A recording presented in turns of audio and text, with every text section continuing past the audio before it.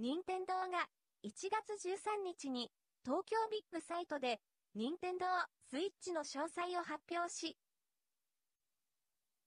隣のホールでは任天堂スイッチの各ゲームが私有可能になっている。今回タイトルが発表されたスプラトゥーンにも私有できる状態だったので、早速プレイしてみた。おそらく国内最速？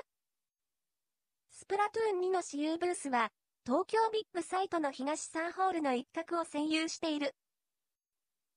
幸いにも、ほぼ最初に発表会場を出られたため、一番乗りで私有に並ぶことができた。スプラトゥーン2のプレイモードは2種類あり、一つは従来と同じようなスタイルのテレビモード。もう、一つは、任天堂スイッチの画面でプレイする携帯モードだ。まずは、テレビボードで、チュートリアルと予選を戦った。武器は、4種類から選ぶことができ、そのうち、一つは、新しい武器、スプラマニューバーが選択可能になっていた。スプラマニューバーの大きな特徴は、ボタンの同時押しで使用キャラを横にスライドできる機能だ。また、ゲージを貯めることで使用できるスペシャルウェポンには新たな、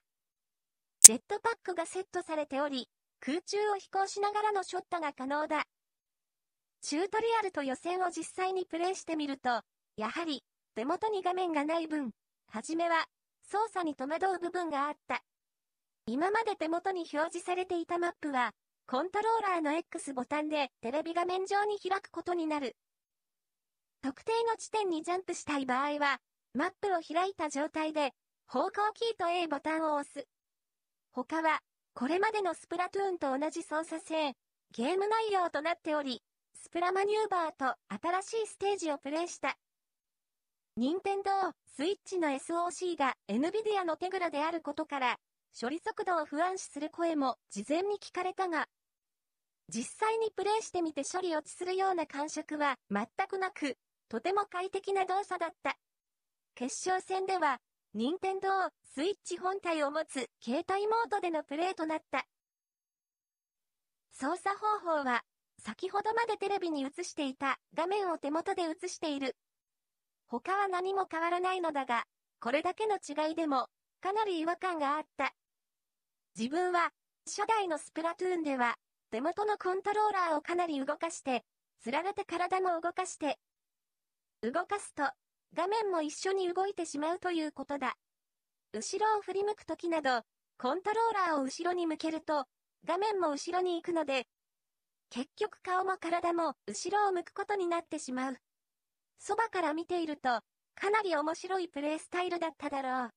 う。もちろん、視点の移動は右側ジョイスティック、リセットが Y ボタンでできるのだが、これに慣れきれず、決勝戦は残念ながら負けてしまった。今までのスプラトゥーンプレイヤーにとっては、これまで以上に楽しめるゲームになっていると感じた。任天堂スイッチ本体は3月3日発売。スプラトゥーンには夏発売となる。自分は今から一日先週の思いだ。ちなみに、この任天堂スイッチ体験会2017は、1月14日、15日の土日2日間で、一般の方も入場可能だ。今すぐにでもスプラトゥーンにをやりたい。という方は、ぜひ、東京ビッグサイトに足を運んでみてほしい。